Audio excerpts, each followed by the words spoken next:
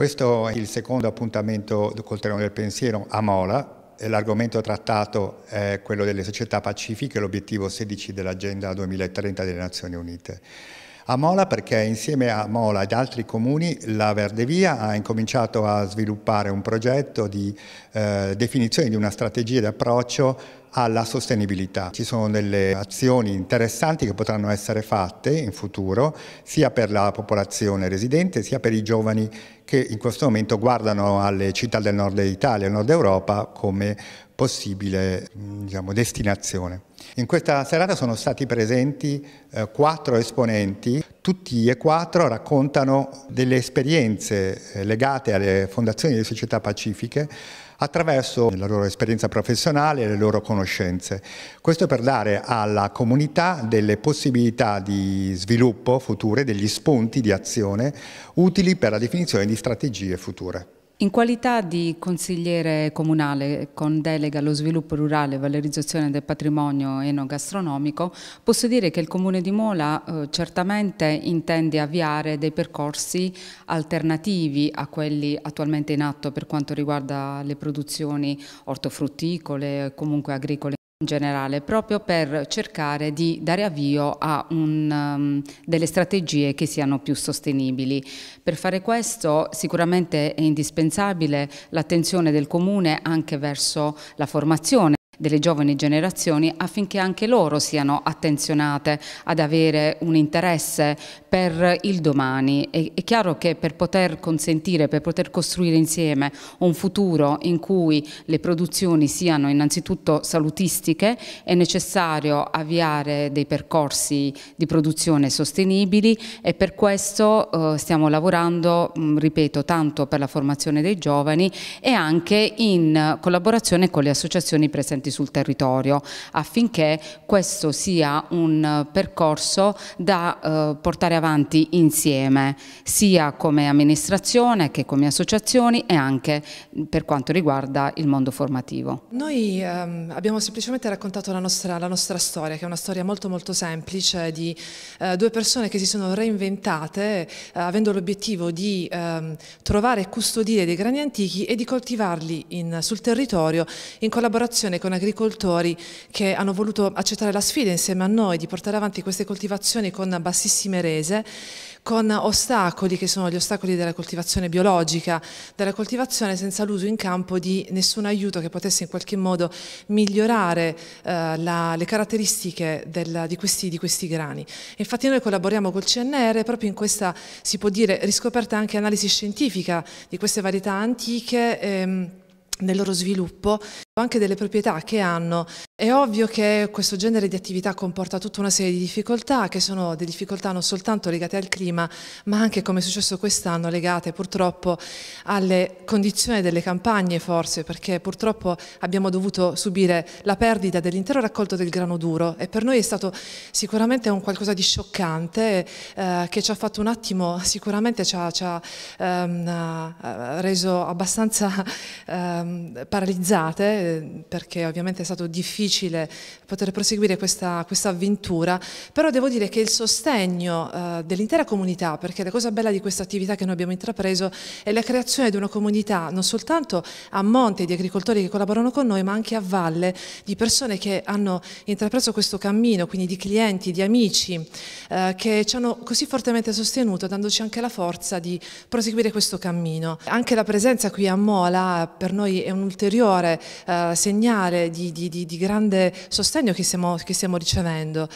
Ehm, che ci ha reso ovviamente molto molto contente. Io sono stato invitato qui come autore che ha pubblicato alcuni alcune monografie sulle vittime innocenti di mafia, oltre ovviamente ad altri tipi di interventi. Eh, una società pacifica non è possibile pensarla senza la liberazione da un, dal gioco mafioso che non avviene esclusivamente attraverso l'attività giudiziaria, attraverso l'attività magistratuale, ma avviene attraverso il sommovimento di una società civile che decide di operare le strategie di cambiamento, non semplicemente di dire no, ma di operare le strategie di cambiamento. Allora ripercorrere le storie storie di resilienza di alcune vittime di mafia significa individuare i percorsi, le possibilità, le strategie, le dinamiche attraverso le quali è possibile eh, pensare una società che probabilmente, noi non lo sappiamo, è già in atto e soprattutto ha in sé i germi di un cambiamento che è sotto gli occhi di tutti e che dobbiamo soltanto potenziare e valorizzare. Mi sono occupata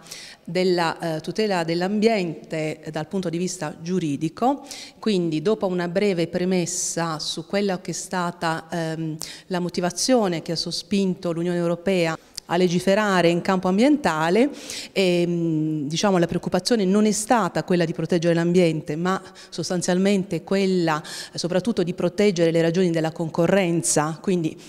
da questo momento diciamo, più ehm, proteso verso le esigenze mercantili siamo arrivati verso gli anni 90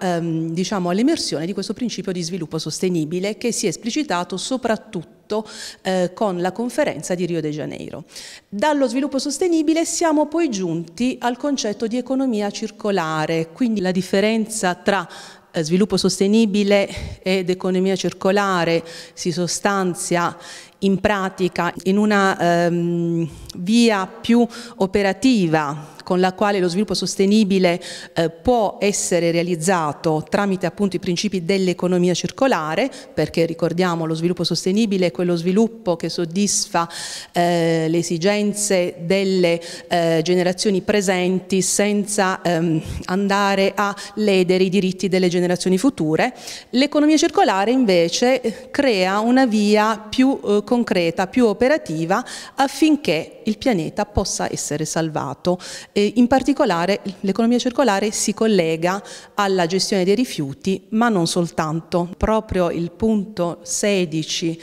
dell'Agenda 2030 ci dà una, una via da seguire, ossia il coinvolgimento di pubblica amministrazione, cittadini, imprese, eh, istituzioni. Tutti noi siamo coinvolti nella, eh, appunto, nella gestione dell'ambiente e ne, mh, dobbiamo rispettare appunto le leggi, le direttive, i principi, ma anche eh, cercare di diffondere sempre di più il, ehm, il rispetto per il nostro pianeta Terra e per le risorse ambientali. Mi sono soffermato sulle, sugli elementi che generano le fratture sociali e tra le persone, soprattutto sulle disuguaglianze, che non sono solamente disuguaglianze che nascono da fattori economici, ma sono disuguaglianze che viviamo quotidianamente, anche nella nostra Puglia, se pensiamo a delle disuguaglianze che derivano dal proliferare di periferie che eh, sono sempre di più i paesini che sono nelle aree interne o i paesi che sono lontani dai grandi capoluoghi di, di provincia, le periferie delle grandi città sempre più sconnessi rispetto a quello che è il centro. Eh, se parliamo anche delle, di quelle che sono le disparità che nascono dal, dall'utilizzo della tecnologia, quindi se pensiamo che sostanzialmente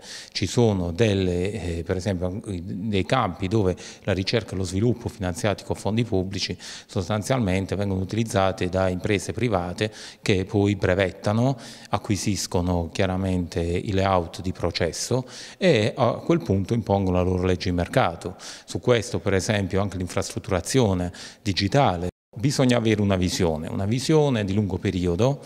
capire qual è il, la Puglia, se parliamo di Puglia, ma quale mezzogiorno direi io, che vogliamo trovare tra 5 anni, 5-10 anni, eh, scavalcando questa campagna elettorale continua, ma pensando proprio qual è il nostro desiderio. Beh, e allora lì sostanzialmente le opportunità le troviamo, perché nell'ambito della strategia ci sono diversi strumenti. Tra questi sicuramente c'è, ed è appena partita, la riforma del terzo settore, un ruolo ruolo fondamentale riconosciuto non solo alla cooperazione che lo ha riconosciuto già in Costituzione, ma anche a quelle attività di solidarietà e di promozione della partecipazione attiva, non contemplativa dei cittadini che sostanzialmente della cittadinanza attiva e quindi tutte quelle forme di eh, anche volontariato, associazionismo, oltre che di cooperazione, il cui ruolo oggi è riconosciuto in un'autonoma riforma che dà tutti quegli strumenti di promozione e sviluppo che possono servire a invertire il trend e quindi società pacifiche che diventano sostenibili perché a quel punto si inverte il paradigma economico e il, eh, si innesta un, un, principio generativo, quello di nascere, eh, sviluppare e lasciare andare senza estrarre valore dai territori ma facendolo rimanere sulla comunità. Il bilancio di questo incontro è stato sicuramente positivo. Eh, l'intervento dei quattro relatori è stato eh, apprezzato dalla platea, soprattutto eh, sul tema delle società pacifiche, dove ciascuno ha eh, potuto esprimere quelle che sono le possibilità future per la eh, realizzazione di queste società pacifiche. Questo ci fa anche ben sperare per il prossimo appuntamento dove inviteremo uno start-upper lombardo per parlare di eh, aziende nel campo dell'energia sostenibile, tema molto sentito anche nei nostri territori.